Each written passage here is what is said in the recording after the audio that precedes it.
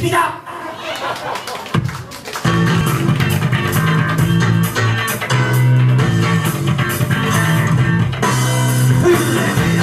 やってまいりましたやってまいりました。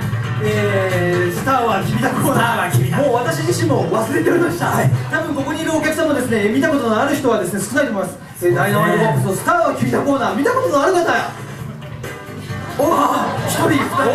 二人。生き証人っていう感じ生き証人えーすごいですね、えーいやいやいやダイナマイトボックス名物コーナーの一つです、ねはいえースターキンダコーナーとなりましてね、えーこれはですね、えーまあ、えーいわゆるですね、えーまあ、素人さん、まあ、我々も素人みたいなもんなんです。そうですね。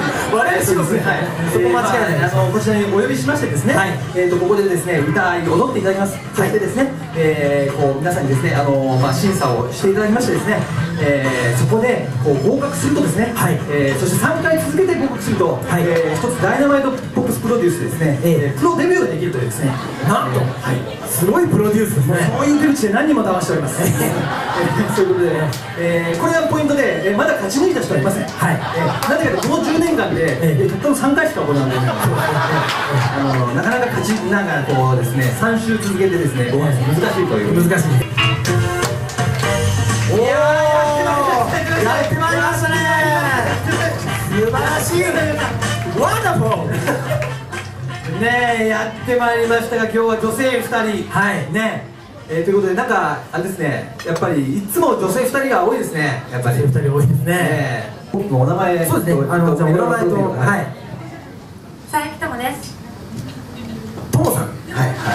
智です。ともさんです皆さん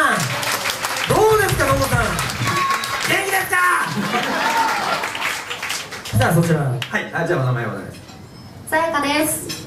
さやかさんさやかさんなんと。はい。えーえーはい。えー私たちも完全に浮き足立っております。ええ浮き足立って こんなのもう浮いちゃってますから。ね非常に、えー、我々のステージに若い女性が登場すること自体が非常に、ええ皆さんも浮き足立ってる浮き足立ってると思います特にそこらトロ型のあたりですね、非常にですね、あのもしよろしければあの前の方にグッと聞いて許可ですね、ええこのね許可です。お世話やなしですよ